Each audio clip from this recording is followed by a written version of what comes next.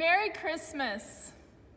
I want to welcome you to a special Christmas Eve worship service with Edgewood United Church. Whether you are joining us from East Lansing, Lansing, Okemos, Holt, Montana, Pittsburgh, Texas, Washington, no matter who you are or where you are on life's journey, you are welcome here. Many of us are missing being in the sanctuary of Edgewood for tonight's service, of seeing one another in person. I am missing you as well. If you are longing for the chance to say, Merry Christmas. Merry Christmas. Merry Christmas. Merry Christmas!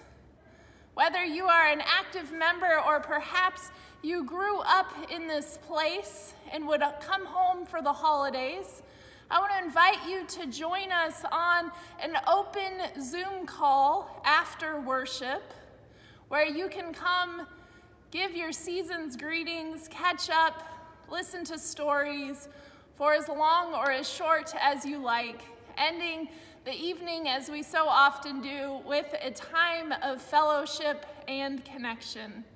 If you don't have that Zoom information, you can send us a Facebook message or send me an email and we will send that out to you. It is also in the e-notes from the past few weeks.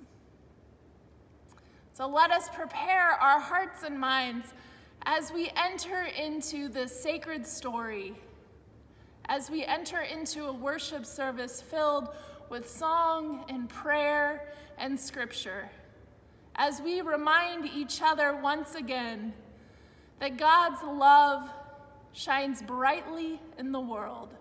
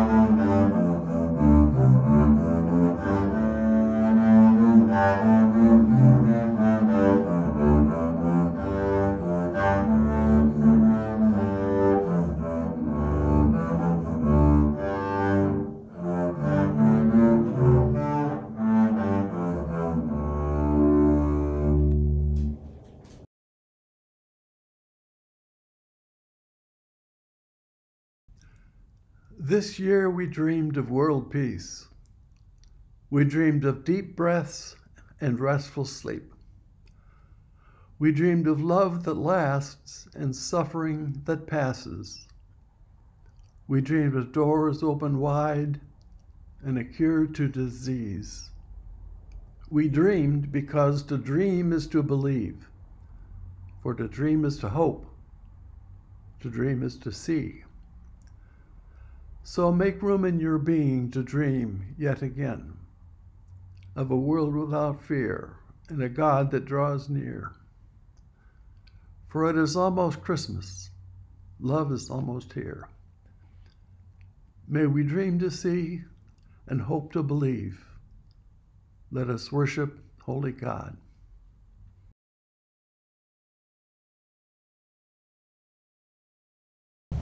In the beginning, God dreamed of a beautiful world. In Egypt, the Israelites dreamed of freedom. In the wilderness, the people dreamed of safety. In Jerusalem, the people dreamed of a Messiah.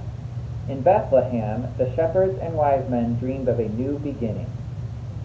Then, several years later, Jesus walked this earth, and dreams came true.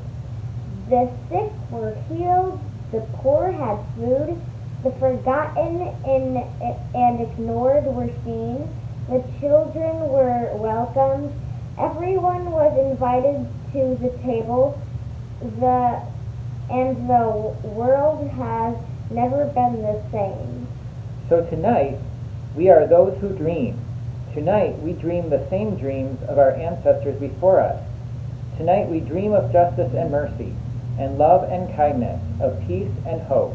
Tonight, we dream of a God that draws near to us out of unfailing love. May this candle be reminded, be a reminder that there will be there will be a day when every dream will be fulfilled. A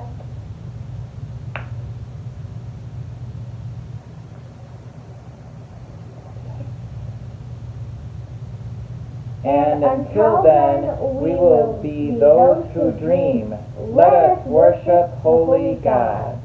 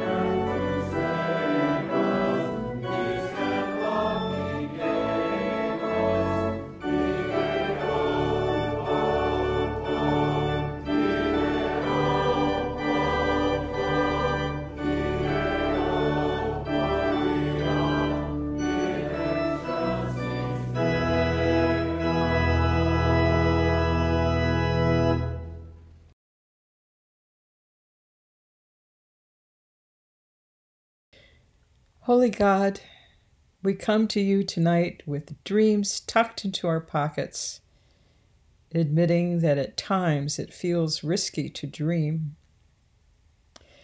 At times it feels risky to ask for too much, to believe in that which we cannot see. So instead, we make wishes on stars and search for luck in clover fields.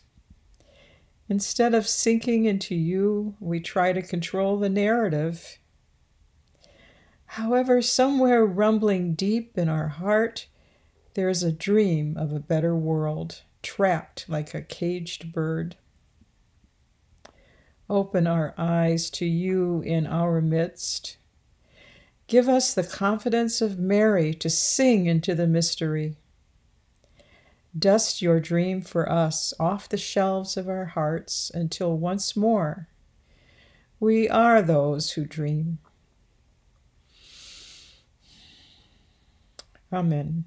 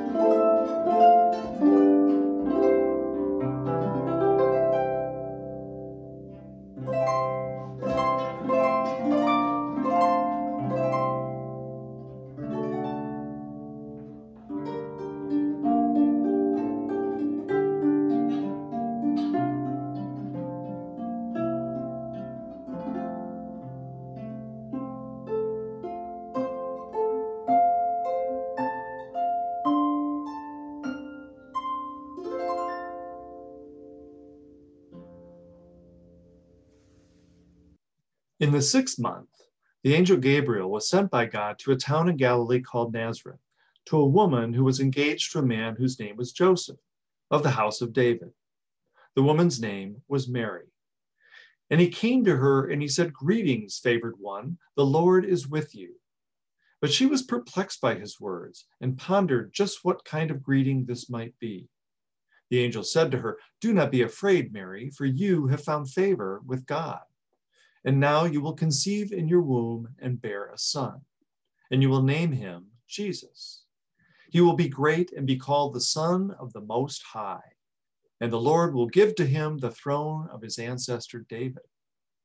He will reign over the house of Jacob forever, and of his kingdom there will be no end. Mary said to the angel, But how can this be, since I am a virgin?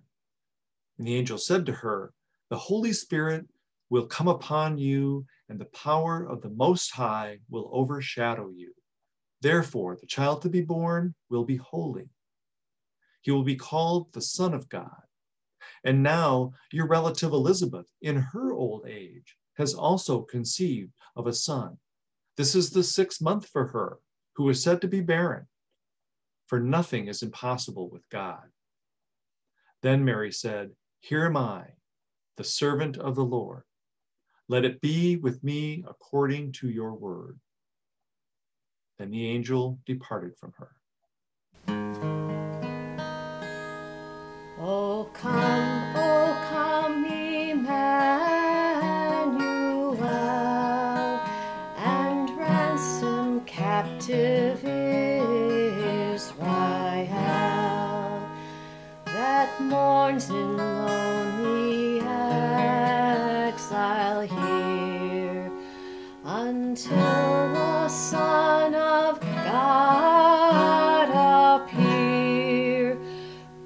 Rejoice, rejoice,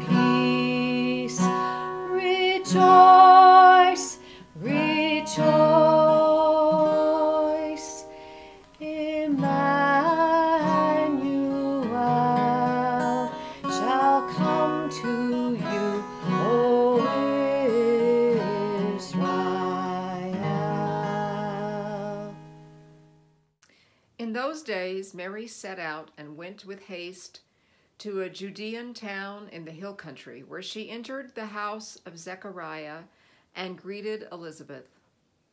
When Elizabeth heard Mary's greeting, the child leapt in her womb. And Elizabeth was filled with the Holy Spirit and exclaimed with a loud cry, Blessed are you among women, and blessed is the fruit of your womb. And why has this happened to me, that the mother of my Lord comes to me? For as soon as I heard the sound of your greeting, the child in my womb leapt for joy. And blessed is she who believed that there would be a fulfillment of what was spoken to her by the Lord. And Mary said, My soul magnifies the Lord, and my spirit rejoices in God my Savior, for he has looked with favor on the lowliness of his servant. Surely from now on all generations will call me blessed, for the mighty one has done great things for me, and holy is his name. His mercy is for those who fear him from generation to generation. He has shown strength with his arm. He has scattered the proud in the thoughts of their hearts. He has brought down the powerful from their thrones and lifted up the lowly. He has filled the hungry with good things and sent the rich away empty. He has helped his servant Israel in remembrance of his mercy, according to the promise he made to our ancestors, to Abraham and to his descendants forever. And Mary remained with her for about three months and then returned to her home. Mary, did you know that your baby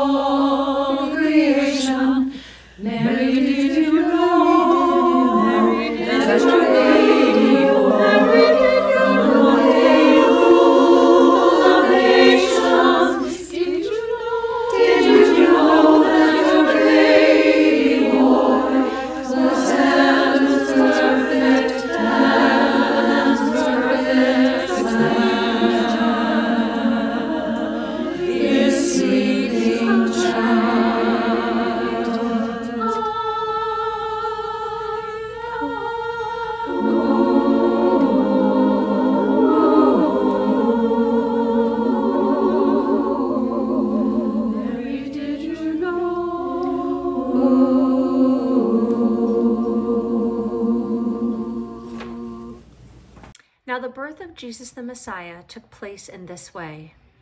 When his mother Mary had been engaged to Joseph, but before they lived together, she was found to be with child from the Holy Spirit. Her husband Joseph, being a righteous man and unwilling to expose her to public disgrace, planned to dismiss her quietly. But just when he had resolved to do this, an angel of the Lord appeared to him in a dream and said, Joseph, son of David, do not be afraid to take Mary as your wife, for the child conceived in her is from the Holy Spirit. She will bear a son, and you are to name him Jesus, for he will save his people from their sins. All this took place to fulfill what had been spoken by the Lord through the prophet. Look, a young woman shall conceive and bear a son, and they shall name him Emmanuel, which means God is with us.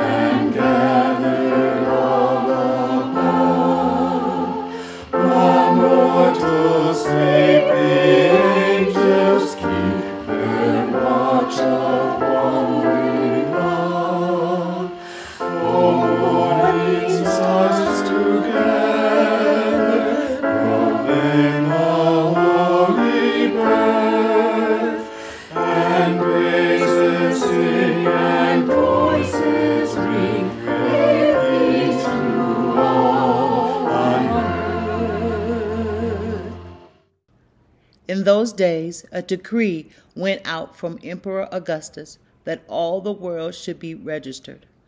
This was the first registration and was taken while Quirinius was governor of Syria. All, all went to their own towns to be registered.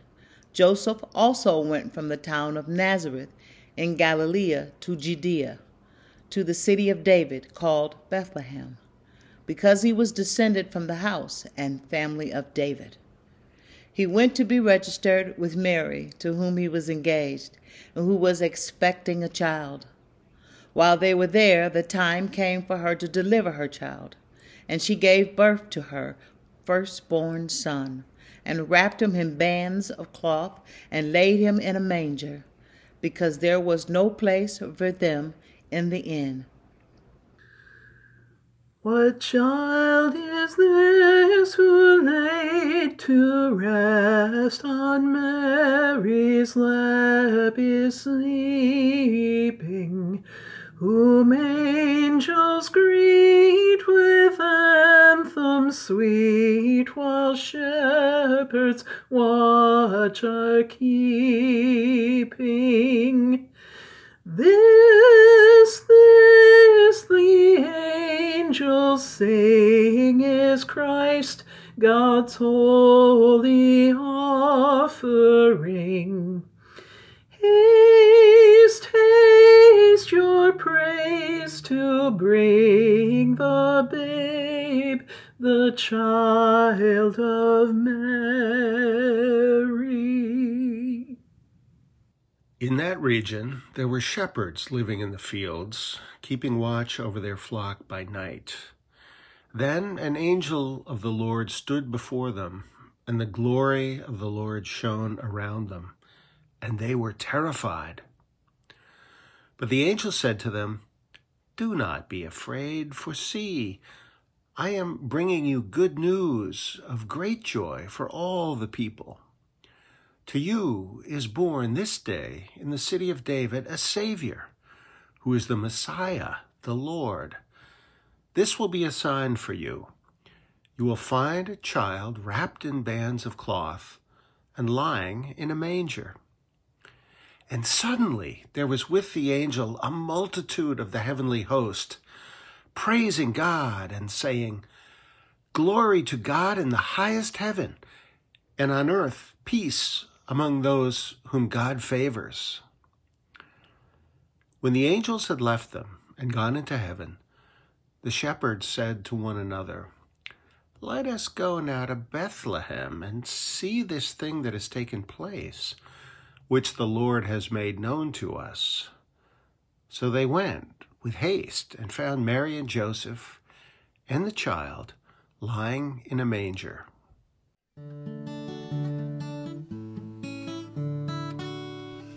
Angels we have heard on high, sweetly singing o'er the plains, and the mountains in reply echoing their joyous strains. Gloria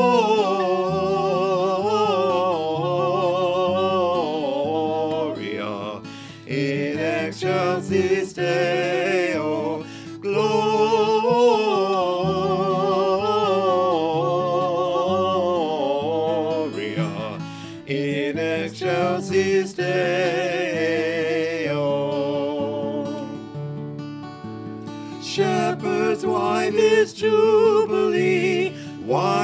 Joyous strains prolong? Say what may the tidings be, which inspire your heavenly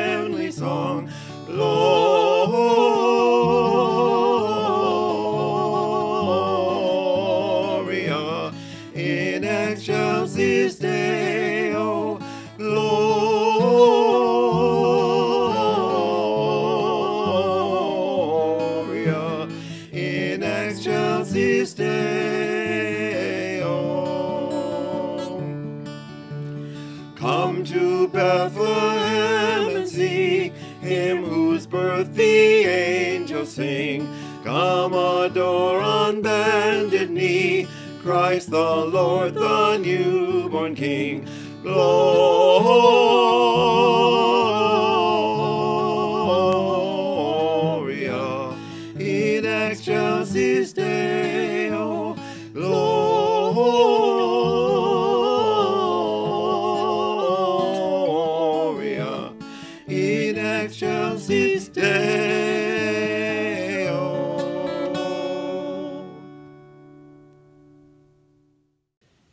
time of King Herod, after Jesus was born in Bethlehem of Judea, wise men from the east came to Jerusalem asking, Where is the child who has been born King of the Jews?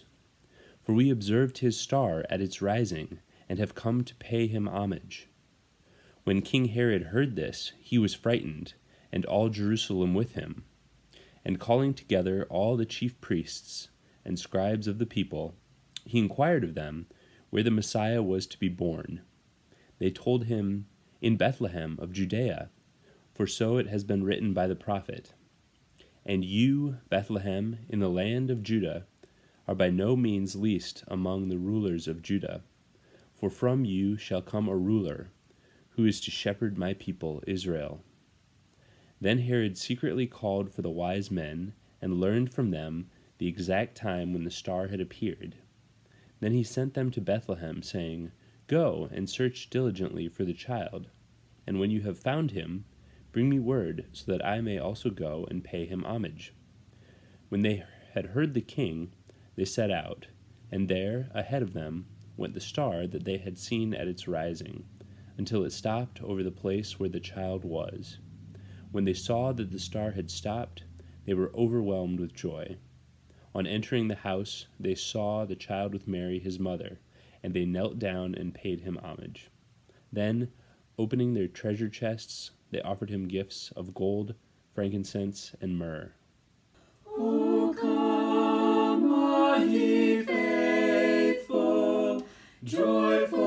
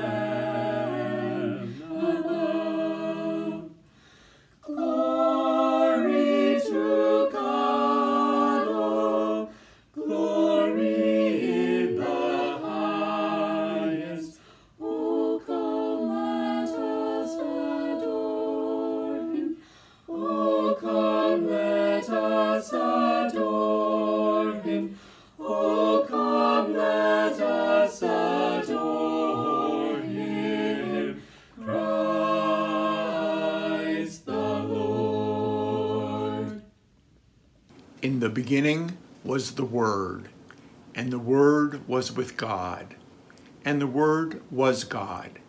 He was in the beginning with God. All things came into being through him, and without him not one thing came into being. What has come into being in him was life, and the life was the light of all people. The light shines in the darkness, and the darkness did not overcome it. Hark the herald angels sing, glory to the newborn King. Peace on earth and mercy mild, God and sinners reconciled. Joyful all ye nations rise, join the triumph of the skies. With angelic host proclaim, Christ is born in Bethlehem. Hark the herald angels sing, glory to the newborn King.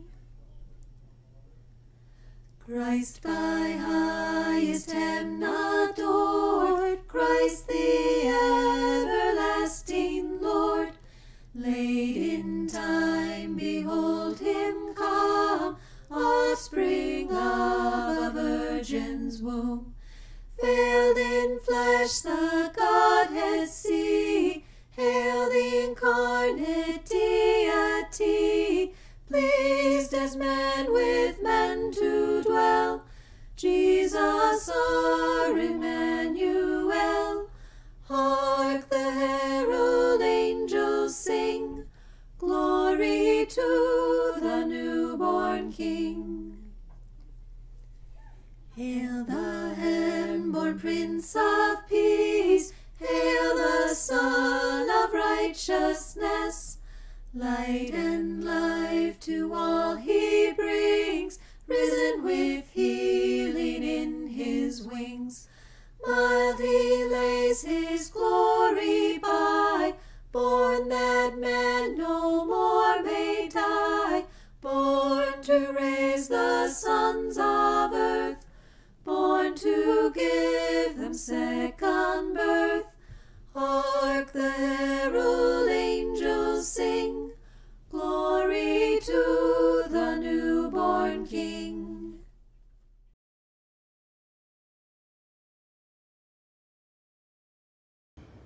Every year on Christmas Eve, we collect a special offering.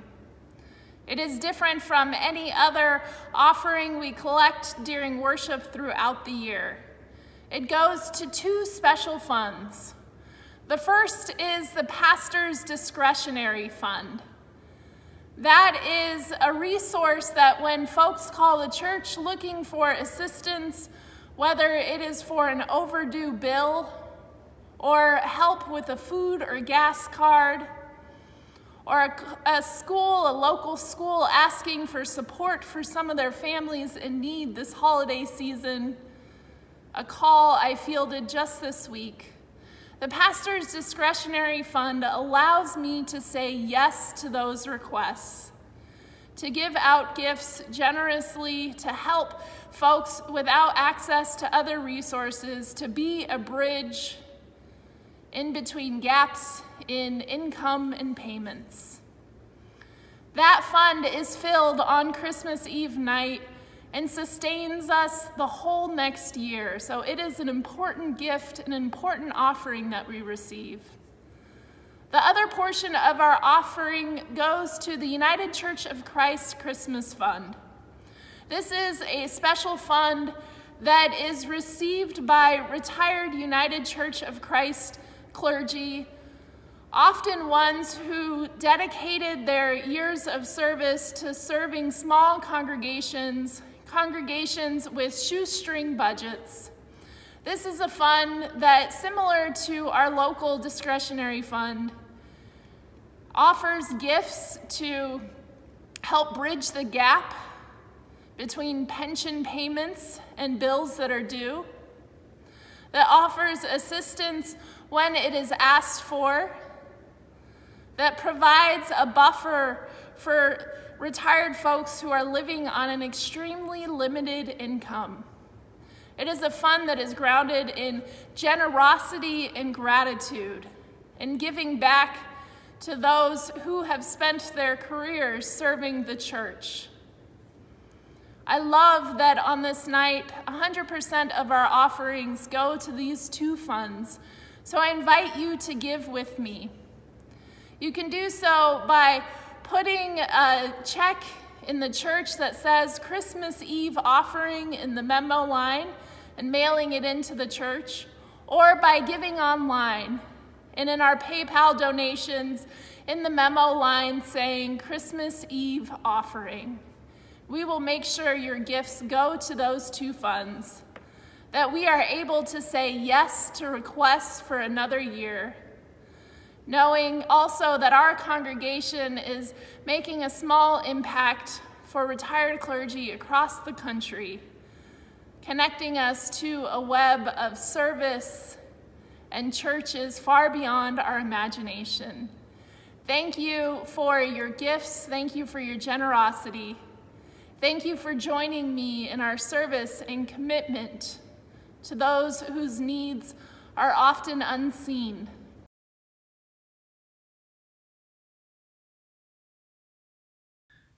Holy God, we come to you tonight with dreams tucked into our pockets, admitting that at times it feels too risky to dream.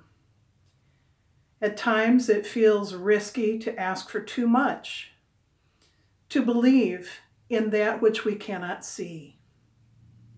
So instead, we make wishes on stars and search for luck in clover fields. Instead of sinking into you, we try to control the narrative.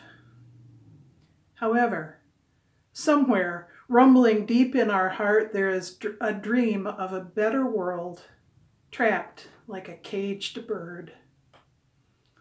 Open our eyes to you in our midst. Give us the confidence of Mary to sing into the mystery dust your dream for us off the shelves of our hearts until once more we are those who dream. Amen.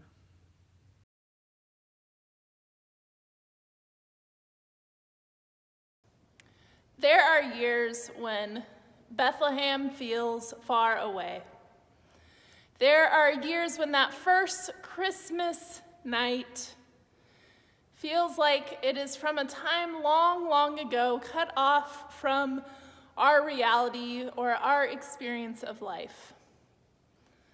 But then there are years like this one, when everything has been turned upside down, when we have had a year that no one could have predicted, that make me say, yeah, that story is very close. Close in my heart, close to our collective experience. This is a story of two young people who are faced with a situation of despair and uncertainty, who found their way through it, who took a journey that they didn't know what the result would be, but they led with trust and hope that they would find what they needed. This is a story of shepherds caring for their flocks who were asked to answer a bigger call to care for their neighbor, to set aside life as they knew it, what must have been comfortable in its routines, to show up on a neighbor's doorstep to take a journey, not knowing what they would find, not knowing what would be asked of them. This is a story of love, of God's love, manifesting in a world, in a place where there should have only been despair. Of a story that should have been forgotten as soon as it happened, but instead spread from community to community across the whole globe and kept being told over and over. This is a story for anyone who has struggled this year with fear, with loss, with uncertainty, who has wondered who they can trust, what they can trust, who has had their daily routines turned upside down, who's had something new asked of them in order to care for their neighbors this is for anyone who has taken a journey this year, not certain where it would go, how it would end. This is a story for all of us who are far from home tonight. Whether that is from far from a home filled with family and love, far from the home of other people where you would rather be, or far from our church home the physical manifestation of our sanctuary tonight. This is a story for anyone who feels displaced this Christmas. God's love cannot be taken away by a virus or by dictators or by injustice. It continues to manifest and shine bright in our world. Tonight, we tell the story and we remind each other of God's love far away in Bethlehem and right here in our homes.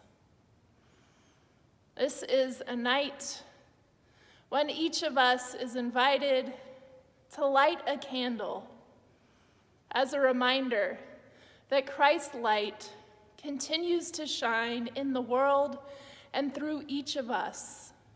May Christ's light of love and peace shine bright this Christmas Eve.